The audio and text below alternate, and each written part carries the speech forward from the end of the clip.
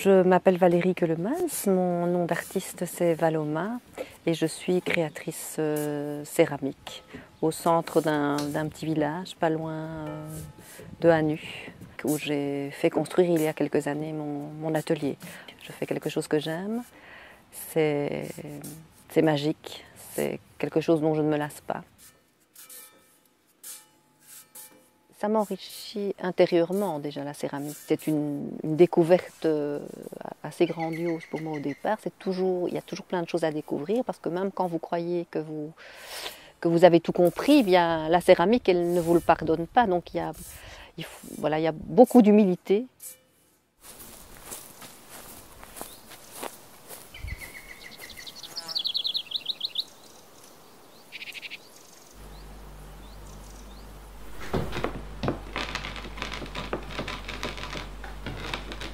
J'aime beaucoup travailler la porcelaine. Voilà, la porcelaine, c'est un petit peu différent de l'argile. Elle a beaucoup, beaucoup de caractère, elle a une volonté propre.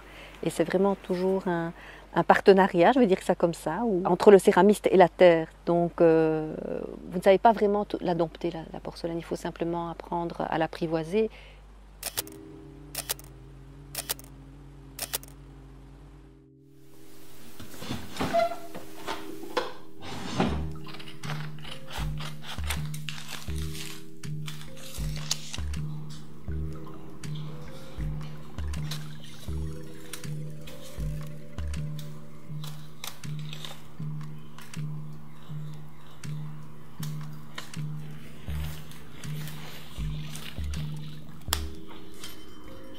J'ai eu cette idée de commencer à photographier les, regards de mes condisciples à l'académie, donc des élèves euh, de céramique, mais aussi celles du dessin.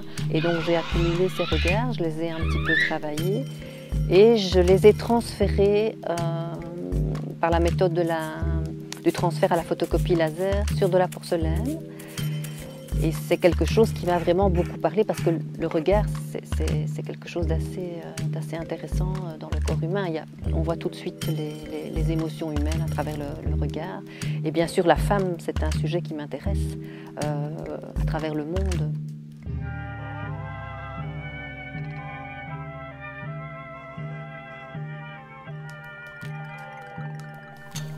Une seule petite pièce finalement qui peut être, je vais dire, insignifiante à la base, mise avec plein d'autres pièces qui sont euh, identiques ou similaires.